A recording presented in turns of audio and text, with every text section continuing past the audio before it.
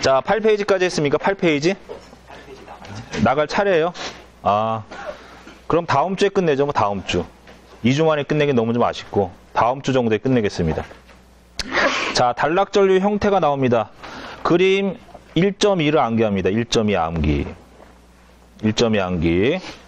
자, 거기 보시면 직류분이 6위가 된 그림이 나와 있죠. 직류분이. 네, 직류분과 교류분이 합쳐지게 되면요. 이 부분이 비대칭이 됩니다. 비대칭. 그 다음에 교류분이 없어지면 그 이후의 부분이 뭐가 됩니까? 네, 아, 직류분이 없어지면 대칭분이 되죠. 자, 그 그림 암기하시고 이렇게